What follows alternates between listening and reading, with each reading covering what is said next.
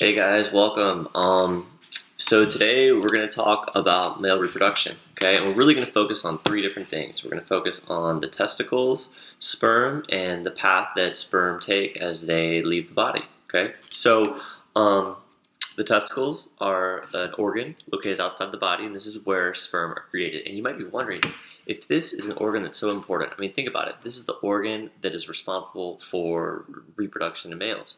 If it's so important, why is it located outside the body where it's completely susceptible to injury and all that stuff? I mean, every other important organ in our body is protected underneath bone and tissue, like our brain, our heart, all that. Well, it's all about temperature, okay? Turns out that sperm are more efficiently stored about 3 degrees cooler than body temperature. They can be made at body temperature, but they're more efficiently and they stay healthier um, after they're made when it's a little bit cooler. Okay, so that's the whole reason why the testicle's outside the body. And there's actually um, a thin layer of smooth muscle called the cremaster muscle that lies just underneath the surface of the, the skin. And what this does is this muscle can control how close the testicle lies um, relative to the body. If temperature is too cold in the testicle, this muscle will contract. That pulls the testicle closer to the body so it can heat up. And then vice versa, if temperature is too hot, that muscle relaxes, increases the distance or the increases how far away the testicle is from the body, and it cools um, that structure down. Okay. So um, now if we were to look inside the testicle, let's do, this is obviously a um, lateral view of the, the testicle. And um, if we were to do kind of a, sagittal section through it to see what's inside, you'll notice that there's an oval shaped structure called the testes. Okay, It's kind of located more towards the anterior and inferior side of the testicle, of each testicle. And um, this is the site where sperm are made. All right, so this is actually the site of spermatogenesis inside um, this, these testes, they're filled with these tiny little tubes called seminiferous tubules. Each seminiferous tubule is arranged in a little loop, which is called a lobule. And there's a bunch of these packed in each testes. Um, there's probably like 20 feet worth of seminiferous tubules packed in um, each testes, and this is where sperm are made. Okay, but it turns out that when these sperm are first produced, they're really kind of pathetic cells. They're definitely not ready to, to fertilize an egg. They're immature. They can't really swim yet. They're definitely not ready to, for fertilization to occur. So they need time to develop. And what happens is there's a slow kind of flow or current of fluid in that, inside these seminiferous tubules, which carry these immature sperm and gives them a chance to um, develop. These sperm are going to flow out of the seminiferous tubules and they're going to enter into this really kind of intricate maze of tubes called the rete testes. This is going to be located more on the um, superior side of the, the testes and the, the sperm are going to flow all through this. This gives them a chance to continue to develop, learn how to swim, and um, so that they can ultimately fertilize the egg. Okay.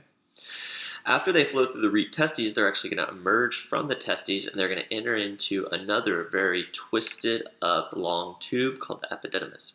Okay, now I drew the, the seminiferous tubules and the rete testes in blue. Now this epididymis is going to be drawn in green. And um, the epididymis is going to emerge from the rete testes, and it's going to be a coiled up tube that kind of passes along the posterior side of the testes and goes downwards or inferiorly um, all the way down underneath the testes on the backside, right?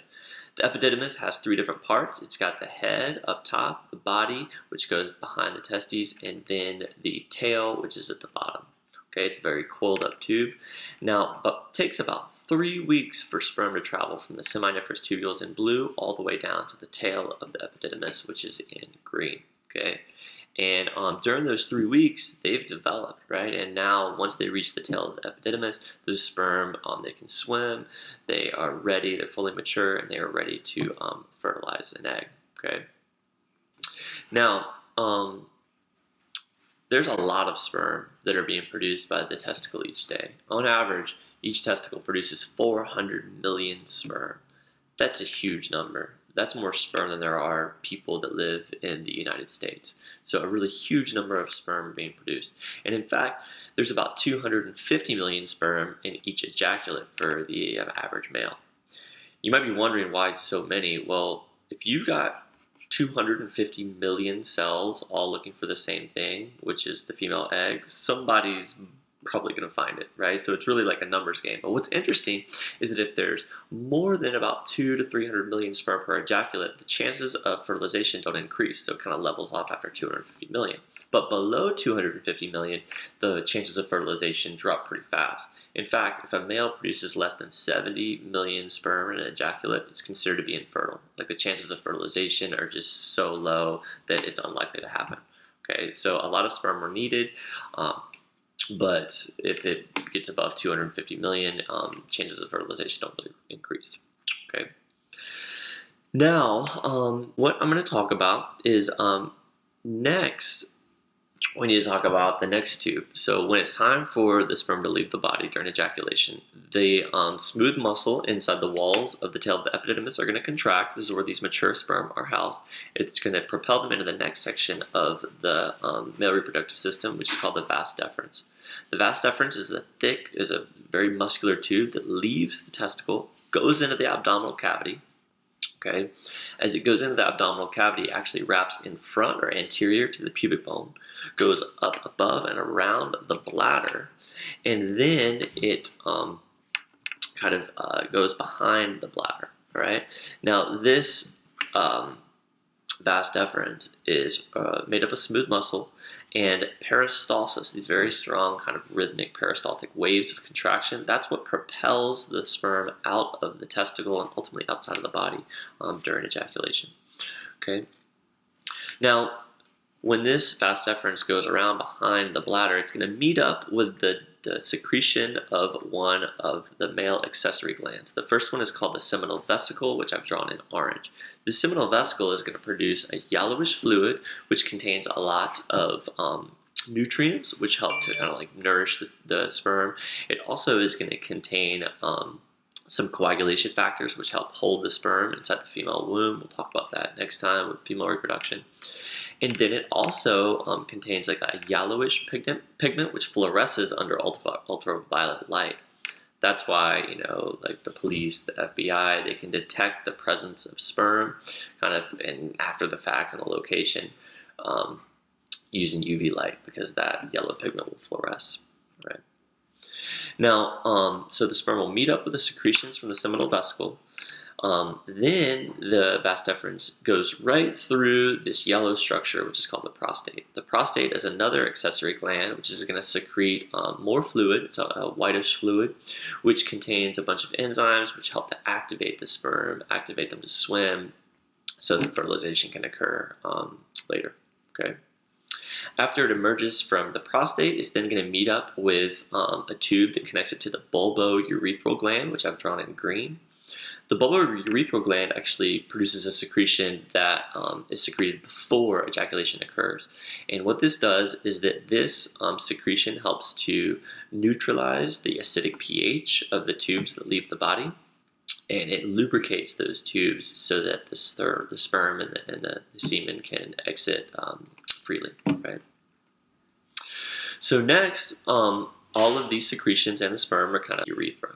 Okay, the urethra is going to go underneath or inferior to the pubic bone, and it's going to carry um, the sperm and the secretions from the accessory glands. Now it's called semen outside of um, the body. The urethra, as we'll learn in the urinary system, is also going to contain um, urine um, from the bladder during urination, but that happens at a completely different time. Okay. So now let's finish drawing this. Obviously, the urethra is going to exit through the penis, and then that is the path that it takes to um, uh, leave the body. Now we'll focus more on the specific function of the, the semen um, next time when we talk about the female reproductive system. It'll be a little bit clearer, better time to talk about that. Um, one other thing I wanted to talk about is a vasectomy. So a vasectomy is a process in which a male um, voluntarily become sterile, right?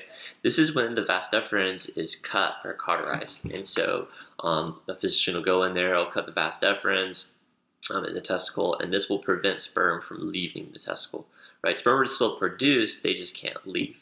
Now, um, after about three months uh, after sperm have been housed in the tail of the epididymis, they just get reabsorbed. So after a vasectomy, the sperm are produced, they just can't, um, they just can't leave, okay? The testicle also has some really important endocrine functions, um, which are worth talking about. Um, inside the seminiferous tube, or inside the testes, around the seminiferous tubules, you have a bunch of specialized cells called Leydig cells. What these guys do is they produce testosterone. Um, so testosterone is produced in the testicle, and um, testosterone is a really powerful and important hormone. Okay, so it gets secreted in very high quantities um, um, during puberty, right? And then continues to be secreted um, throughout a male's adult life. It stimulates the growth of skeletal muscles, of, of, of skeletal of, of, the bones. It um, has some really important behavioral changes, or causes some behavioral changes, increases confidence, increases aggression, increases territorial behaviors. Um, during puberty, it's going to stimulate the rapid growth of the male organs, the, the testicle, the penis, the prostate, the, the seminal vesicle. Um, so it has a really powerful and a kind of important um, hormone. Now, um, steroids are effectively just synthetic testosterone. And um, sometimes steroids can be abused by athletes trying to get an edge because they'll take these synthetic, uh, you know, testosterone steroids, which will raise their testosterone levels to like six to seven times what it normally would be. Now, this will cause the growth of skeletal muscles, right? Also increase like confidence and aggression. But the production of testosterone um, occurs or, or is con controlled by a negative feedback loop in the body. Okay, so the hypothalamus and the pituitary gland in the brain, they monitor testosterone levels and they control how much testosterone the testicles produce. Well, if someone's on steroids, right, their testosterone levels are through the roof. That's going to shut down the production of testosterone by the testicles. This causes the testicles to atrophy, to get smaller. And it turns out that the size of the testicles, as you can imagine, has a direct correlation on the production production of, um, or a loose correlation on the production of um, testosterone. So as the testicles atrophy, they produce less and less testosterone. And if someone's really on steroids, those testicles are going to shut down their production of testosterone altogether. Now, if someone gets off of testosterone after you know a couple of months, that um, the Leydig cells and the testicles kind of reboot themselves. But if someone is a chronic user of steroids, they could shut down their testicles' ability to produce testosterone forever and this is going to um, be a huge problem because that person is going to have to be on hormone replacement therapy. Otherwise, they'll start developing female sexual characteristics, which is um, probably not ideal. Okay, so that is the deal um, with that. Now, the last thing I wanted to kind of talk about is uh, the blood supply to the testicle. So um, the gonadal artery that feeds blood to the testicle, um, this kind of presents a unique challenge because the blood coming into the testicle is very warm, it's body temperature, but it needs to cool down. So the way that the body does this is it's going to have the cooler venous blood that's returning to the body. It wraps around that gonadal artery in this net-like arrangement, and that helps to cool down the arterial blood as it enters the testicle. And on the way back up, that cold venous blood gets warmed back up on the way to the body. So it's kind of a nice way of providing the testicle with a cooler um, blood. Okay. And that's about it. Okay. Thank you for listening.